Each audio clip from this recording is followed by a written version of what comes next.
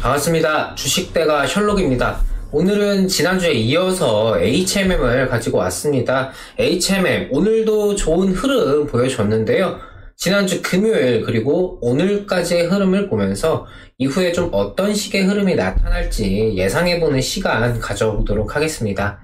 진행하기에 앞서서 종목 영상의 경우 하나의 영상으로 끝나는 것이 아니라 최초 영상을 올려드리고 나서 이후에 변동이 있거나 의미 있는 흐름이 나올 경우 기존의 영상 내용에서 이어서 진행하기 때문에 이전 영상들에 있던 내용들은 좀 생략하고 진행합니다. 그렇기 때문에 이전의 영상들을 참고하시는 게 훨씬 더 이해하시기 더 수월하실 겁니다. 영상 시청하시기 전에 구독과 좋아요 한 번씩 부탁드립니다. 저희에게 아주 큰 힘이 됩니다.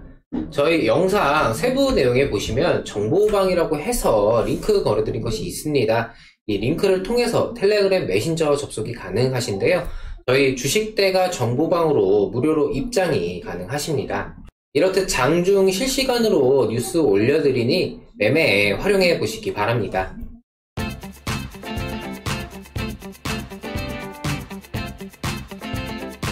HMM은 지난주 금요일 5% 이상의 상승을 나타내면서 외국인의 대량적인 수급 유입과 연기금의 지속적인 물량 매집을 확인할 수가 있었는데 기존에는 천천히 우상향 기조를 가져갈 것으로 예상했었지만 오히려 12 물량 전환을 단기적으로도 상승 흐름을 가져가면서 천천히 소화하는 게 아닌 아예 개인들의 물량을 유입시키면서 함께 받아내는 그런 흐름이 나타날 수도 있겠다라는 생각이 들었습니다. 하여 상승세가 지속된다는 가정 하에 봐야 하는 포인트로는 연기금의 물량 이탈 유무를 보시면서 대응 방향을 좀 잡으셔라 말씀을 드렸었는데 오늘 역시 연기금의 순매수가 나타났고 프로그램 물량이 중간중간 매물대를 급격하게 잡아먹는 모습까지 확인할 수가 있었습니다. 12물량 소화를 해야 하는 연기금의 입장에서는 사실 이렇게 상승세를 급격하게 나타내는 게 부담으로서 작용할 수 있는 상황인데 기존의 차근차근 주가를 우상향으로 가져가면서 물량을 소화하려는 당초 계획보다 오히려 지금의 상승 시기를 적극적으로 이용하면서 이후 개인의 물량 유입을 통해 만기 물량 소화를 함께 진행하면서 원웨이 상승을 가져갈 수도 있는 상황입니다. 아니면 한 차례 정도 개인에게 물량을 떠넘긴 후에 조정을 통해서 재차 하방에서 좀 받아내는 조정 후 상승을 이어나가는 경우로 총 두 가지 경우를 생각을 해볼 수가 있겠는데요. 그리고 이 두 가지 경우를 판단하는 데에는 연기금의 물량이탈 유무를 주가 흐름과 함께 보시는 게 현재로서는 가장 적절한 기준점이 될 수 있을 것 같습니다. 변수는 금요일과 월요일 당장의 상승세를 크게 나타나게 만든 외인들의 의중입니다. 아무리 실적 기반의 우량주라 하더라도 외인들이 단기 관점으로 치고 빠질 경우에 연기금의 입장에서는 상승세 자체를 그대로 끌고 가기에도 아니면 물량을 개인들에게 떠넘기면서 이후 상황을 노리기에도 좀 시기적으로 맞지 않을 수 있을 텐데요. 주가 자체를 끌어올리면서 개인들의 물량 유입이 나타나는 시기에 외인들이 손을 털고 나가게 된다면 주가는 어쩔 수 없이 조정으로 이어질 가능성이 생기고 그 과정에서 개인들에게 물량을 떠넘기기에도 그렇다고 추가적인 상승세를 연출하기에도 부담이 굉장히 크게 작용할 수밖에 없습니다. 그래도 긍정적인 점은 당장의 매물 라인을 프로그램을 위시한 외인들의 물량이 소화하면서 돌파해 주었다는 것을 통해 단기적인 상승 추세 자체는 당장에는 더 기대해 볼 수 있겠다.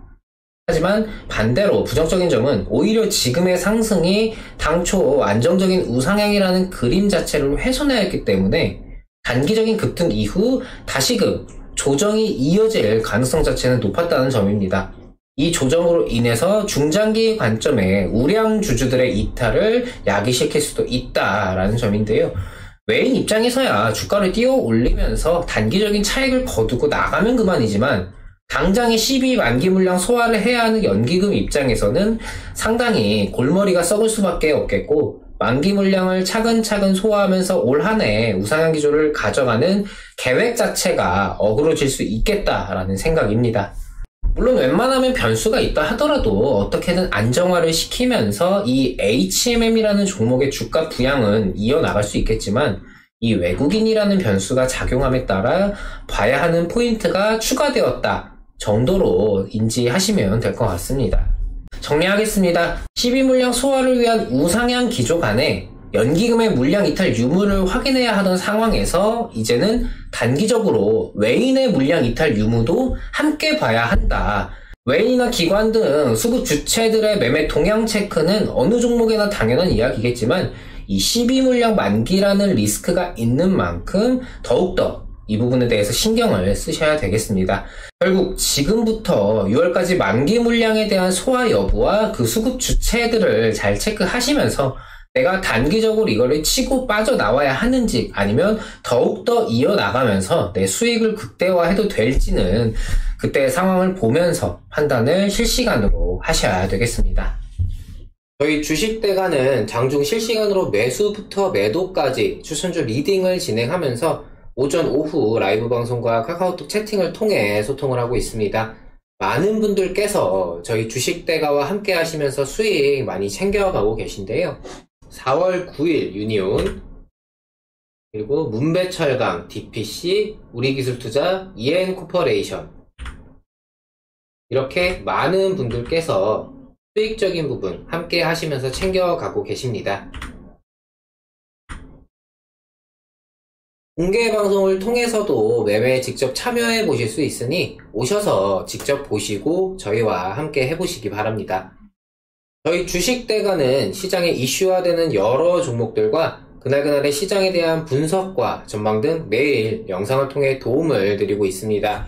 구독만 해두시면요 편하게 영상 확인하실 수가 있습니다. 구독과 좋아요 놓치신 분들은 한 번씩 부탁드리고요. 영상 여기서 마치도록 하겠습니다.